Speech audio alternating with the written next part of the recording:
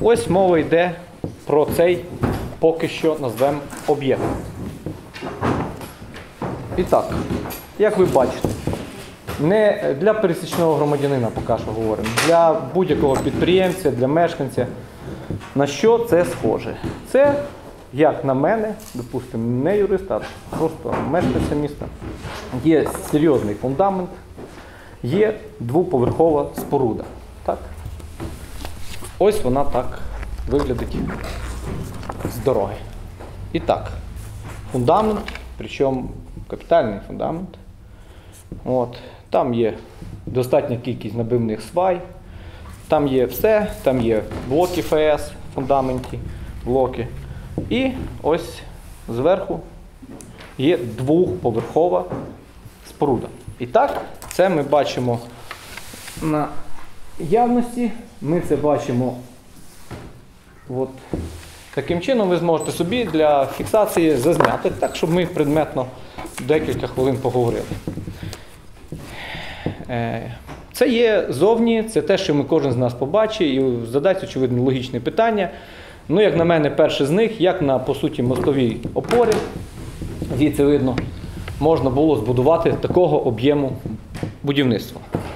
Але що у нас вийшло в результаті по документах, включаючи рішення СХУ? Умовно кажучи, застосовуючи схему Требеш господарський суд Лещишин, ми отримуємо буквально наступне. Двохповерховий торгівельний об'єкт Требеша є полегшеною збірно-розбірною конструкцією та знаходиться на площадці, прикріпленій до облаштованої на земельній ділянці за допомогою анкерних болтів. І так, те, що ми з вами бачили, згідно застосування схеми Требеш, господарський суд Лещишин, останній це судовий експерт, який був призначений. Ми маємо м, буквально, я можу продемонструвати рішення 28 серпня 2015 року, де я, з якого я і зацитував. Тобто, е, буквально кажучи, е, застосовуючи цю схему, е, сьогодні капітальну споруду, як для пересічного громадянина, як для мешканця, якою є в 200 квадратних метрів е, магазин, торгівельний об'єкт, можна сміливо вважати рухомим майном. Саме так визначив нам суд першої інстанції і Львівський господарський суд, який на нас потратив, ну, я скажу, годину часу, але правда без перерв. Обично буває там 15, 20, 30 хвилин, перерва, якісь докази. Наші заяви про те, що ми би хотіли більш чітко аргументувати з точки зору судових експертиз, прохання і в першій інстанції, і в другій інстанції судової експертизи повторної, щоб можна було ці речі додатково уточнити. На жаль, вони залишилися поза увагою. І ну, так, щоб не бути, е, скажімо так, голословним з точки зору закону, адже я так свою місію бачу саме тут. Для цього я би зацитував буквально статтю 28 про регулювання містобудівної діяльності, згідно з якою тимчасовою спорудою торговельного призначення для здійснення підприємницької діяльності може вважатися виключно одноповерхова споруда. А далі, що виготовлюється з полегшених конструкцій, з урахуванням основних вимог до споруди, визначенням технічних регламентів, будівельних робот, от, без улаштування фундаменту. Ну, три складові це без улаштування фундаменту.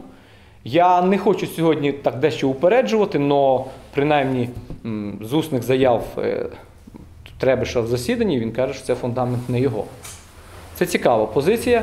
Дочекаємося рішення, почитаємо, як це суд відобразив. Значить, тут фундамент не його. Е, Відносно поверховості, ви бачите, поверховість тут ніяк купи не тримається, тому що мова йде про двохповерхову, а закон хоче одноповерховий і пропонує це нам одноповерхову. Ну і е, відносно того, що е, земельна ділянка, ну, на, на Калинці практика є е, сталою відносно місць торгівлі.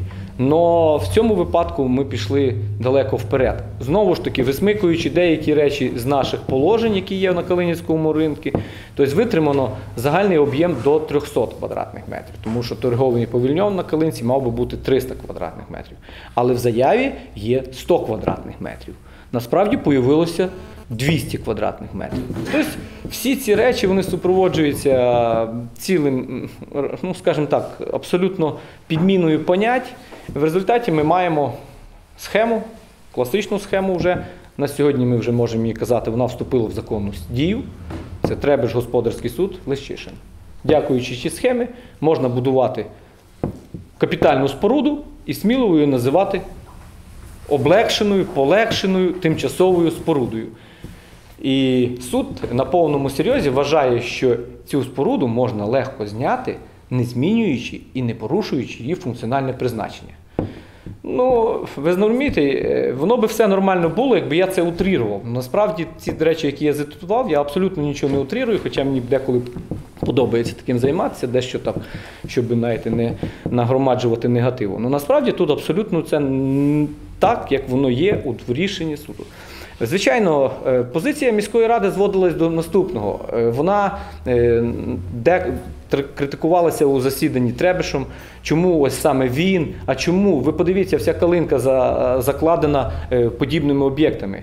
Є як мінімум дві, дві, два нюанси. Перший нюанс це все-таки мостова опора. Це найперший. І той суд, який просто перекручено розповідає, що це є там преюдиція так звана, тобто факт вже встановлений в суді, він нічого суд абсолютно раніше не встановлював. Природоохоронна прокуратура тоді зайшла з позовом до Калинівського ринку, щоб звільнити, е, ну, вирішити це питання, але е, їй просто на однім із етапів було сказано, що тут нема доказів порушення саме прав природоохоронної прокуратури і тих е, інтересів, які би вона захищала. Ось. Відтак, е, звичайно, з процесуальних речей їй було е, прокуратурі відмовлено. Е, Міська рада, міський голова самостійно подали позов щодо звільнення земельної ділянки, приведення в попередній стан. Ну, наслідки ми озвучили. Наші подальші дії сьогодні однозначно, що можна сказати, звичайно, буде е, готуватися, як тільки ми отримаємо рішення касаційна скарга, тому що е, ну, такого, скажімо, порядку речей, де підмінюються поняття, де переступається через всіх і вся, мабуть, не повинно бути, ну я так скажу, як мінімум на Калинівського ринку.